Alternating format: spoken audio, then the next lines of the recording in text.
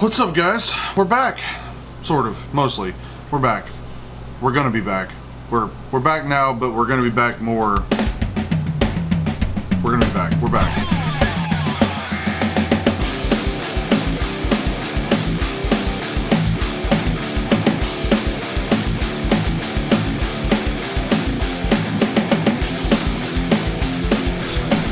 I've missed you guys like a lot.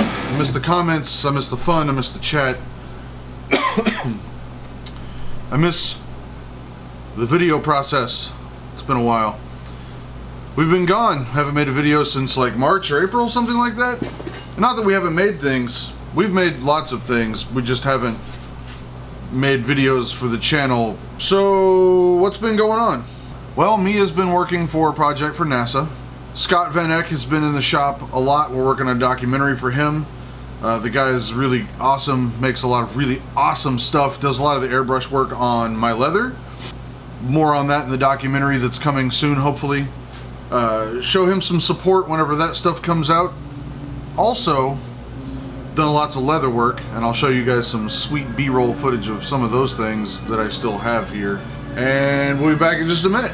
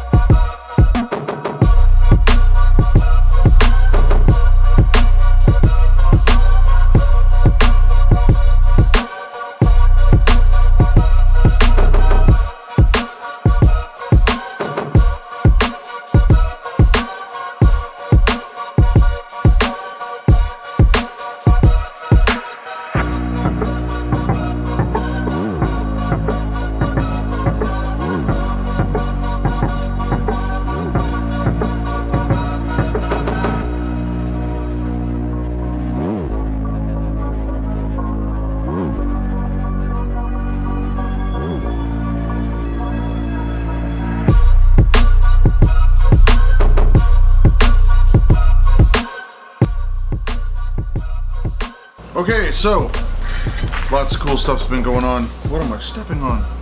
We're gonna keep making cool stuff. If you guys haven't checked out the Etsy shop, it's linked in the description. But there is a lot of stuff been going on over there. I've got got a pile of stuff to catch up on. Lots and lots of orders, way behind. Been super busy. We've had tons of family emergencies. Had to take care of all that stuff, and we're good now.